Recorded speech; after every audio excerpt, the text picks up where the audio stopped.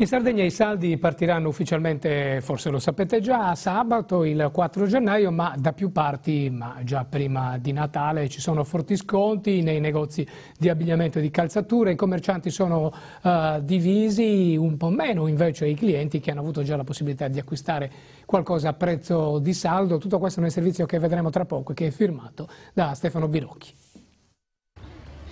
Prima diamo uno sguardo e poi ritorneremo il 4. Vediamo i prezzi, se ci sono veramente offerte. Per il momento sembrerebbe che qualche sconticino ci sia già. E lei ne approfitta? Ne approfittiamo, ecco. sì. A due giorni dall'inizio dei saldi invernali, in molti negozi proseguono gli sconti con riduzioni di prezzo anche consistenti, nonostante la normativa vieti le vendite promozionali nei 40 giorni che anticipano il fuori tutto di fine stagione.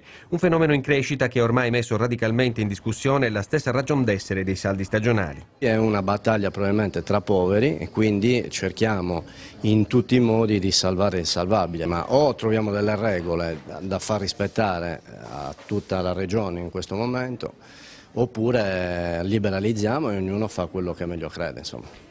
Certo c'è da recuperare un anno difficile, anche le vendite di Natale hanno fatto registrare cali superiori al previsto, il peggior dicembre degli ultimi 30 anni secondo la Confesercenti regionale che attraverso un'indagine capillare fra i commercianti si prepara a presentare una proposta di legge per stravolgere l'attuale sistema dei saldi.